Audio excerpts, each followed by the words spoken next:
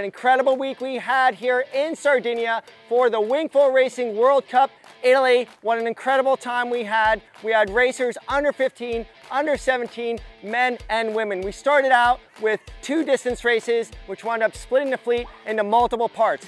We went through the week, there was light air, we had some races canceled, but really what happened towards the end of the week is we started to narrow down to the groups for the medal race and the final series. Really, throughout the week, it rained a little bit, but the people that we really wanted to focus on is in the women's. Really, throughout the rest of the week, Nia Suardiaz in third went in and out of leading the event. She wound up third overall. In second, Madalita Spanu with multiple firsts one day. She came in and she ended up second overall. Finally, your winner, Manon Pianazza. She borrowed a wing from Oscar Leclerc, a value wing, and she wound up winning the entire event. In the men, it was back and forth the whole week.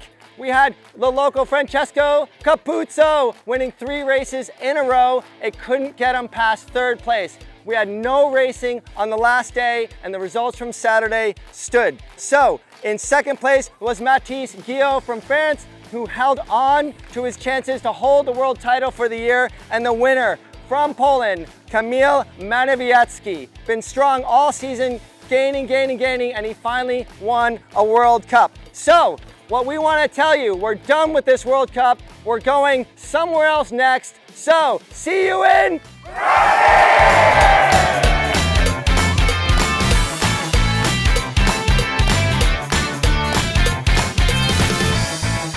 Thank you again. Remember to bring back your tracker.